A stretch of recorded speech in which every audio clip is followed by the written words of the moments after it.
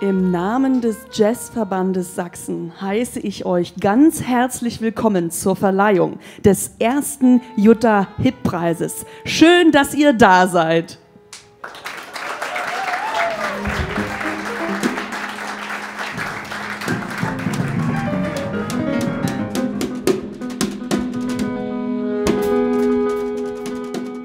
Jutta Hipp war eine Ausnahmeerscheinung, ähm, ein Shootingstar im Nachkriegsdeutschland. Äh, sie lebt den Jazz, erobert also im Nu äh, die Bier- und Nikotingetränkte Männerwelt des Jazz. ähm, in Frankfurt, in München, äh, flieht ja aus Leipzig als Europe's First Lady of Jazz, gelangt sie nach New York. Ähm, hat einen Plattenvertrag, äh, kann sich freuen über äh, Auftritte, Newport Festival, also riesige Konzerte. Äh, dann das Unerklärliche auf dem Zenit ihres äh, Erfolges hört sie auf. Sie tauscht das Klavier gegen eine Nähmaschine aus, wird nie mehr wieder das Klavier anrühren und arbeitet fortan in einer Nähfabrik. Und das äh, hat mich damals äh, schon stutzig gemacht. Ich dachte, was ist da jetzt passiert?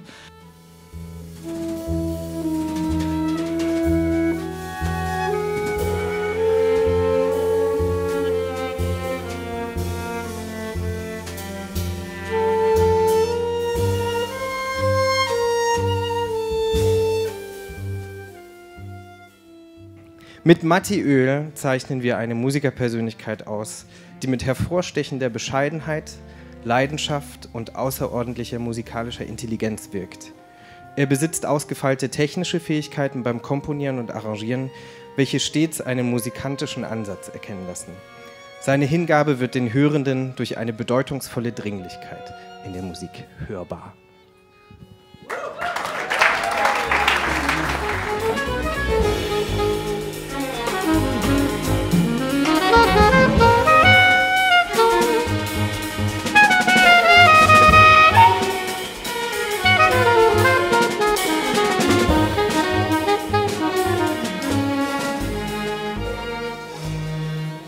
Olga Resnitschenko hat als Pianistin ein einzigartiges Vokabular entwickelt, welches enorme rhythmische und harmonische Komplexität aufweist und sich durch klar erkennbare Entschlossenheit und Stringenz in hoher Risikobereitschaft auszeichnet.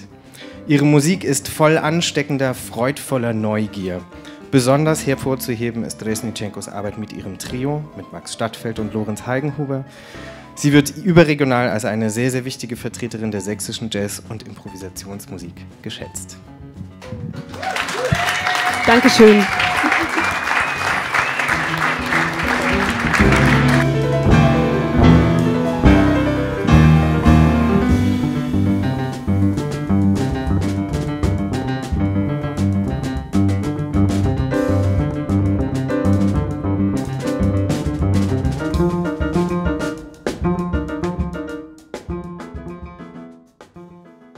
Das Besondere ist, dass vor über 30 Jahren ein Kollege, Manfred Kebsch, in Zwickau eine Fachabteilung Popularmusik gegründet hat und gesagt hat, wir müssen hier Jazz machen. Und das finde ich ganz toll. Manfred lebt leider nicht mehr, also senden wir einen kurzen Gruß jetzt. Aber seine Idee lebt weiter und seine Vision, die er gehabt hat.